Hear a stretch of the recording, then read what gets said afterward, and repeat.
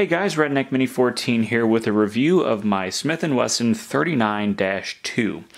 Um, I got this gun about a month a month or so ago, and uh, it's I'd say one of my cooler pistols in my collection. Um, it's definitely a very classic looking gun. So the Smith & Wesson 39 originated in the 1950s when the military was looking for a new pistol. Um, they were looking for something with double action, single action because after World War II, they decided that they really liked the Walther P38 and with the 1911 they only had single action um, they wanted something that was double action and single action with a decocker and so with that, the Smith & Wesson 39 was born. Of course, it was not accepted by the military, um, but law enforcement and the civilian market definitely took a liking to it. And of course, it evolved into the 59 and the you know the second and third generations of that gun, um, and this gun. You know, the 39 also has several generations, so it did evolve over time, and of course, um, sparked a lot of other gun companies to make similar guns. Like you know the uh, the Ruger P series is also a very similar uh, gun, but it was made many many years later. But it all originated with this gun, and of course, this gun originated or, or came from some of the older uh, Walther designs. But this is a single stack, 9mm, 8 rounds. Later versions of this gun um, were offered in 9 rounds, but you know, single stack, um, double action, single action. So you have, um, obviously, it's unloaded. so Every subsequent shot after the first round is, of course, single action. And of course, you have your decocker right here, and it is also a safety. But it is not ambidextrous like the later versions of this gun. It's only on the one side, right there. Um, the other thing is, it has a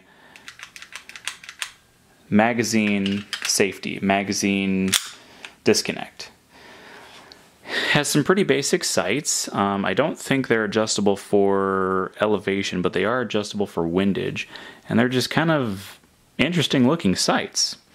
Um, has some nice wood grips. Has a pretty nice trigger. The double action, I didn't really, I don't think I've shot too many rounds double action, but the single action trigger is pretty nice. Um, did have a few malfunctions with this gun. I had a couple of failures to extract, which could be caused by an old worn out extractor, so I'll have to look at that. But uh, we had two failures to extract with this gun out of, I think, only two magazines, but yeah. Um, it is a an aluminum frame with this blued steel slide, so it is a, a nice looking gun. This one is a little bit beat up. I did, you know, the place I bought this from had four of them, and this was the most beat up, which was good because it was the cheapest price. Because this wasn't a cheap gun, it was like $800 total, so not a cheap gun at all.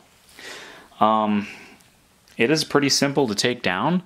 Um, you just pull the slide back to where this notch meets the slide release lever.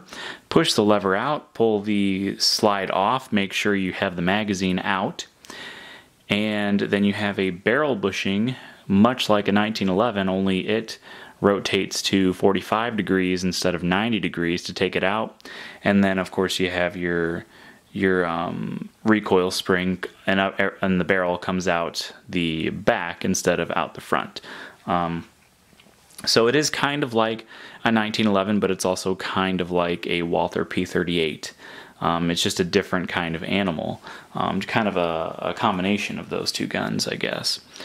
But uh, yeah, really nice looking gun, really fun gun to shoot. I do love these old Smith Wesson pistols. I do have a couple of uh, third generation you know 5904 5906 i might do a comparison between those guns and this gun um, I don't have any second generations or even first generations of the 59.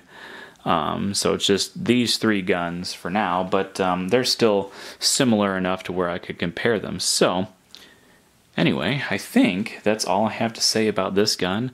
I'll probably do some more shooting videos with it in the future because this is just a really nice gun, and um, I do have some targets that I'm going to going to set up sometime this year, and I'd like this to be one of the first guns I try those targets out with. So we'll get to that in a couple of months, but anyway, that's a Smith & Wesson 39-2.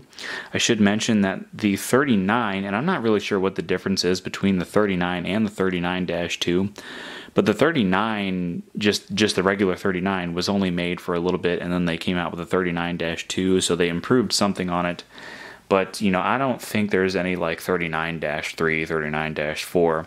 I think it just went from the 39 2 into the second generation, which was like the 439, the 639, um, which is a little bit different gun than this. And then from there, it went to the 3904, 3906, 3913, 3914, those guns. But anyway, that's all I have to say about that. So subscribe to my channel, like me on Facebook. I'm Redneck Mini 14, and until next time, be safe.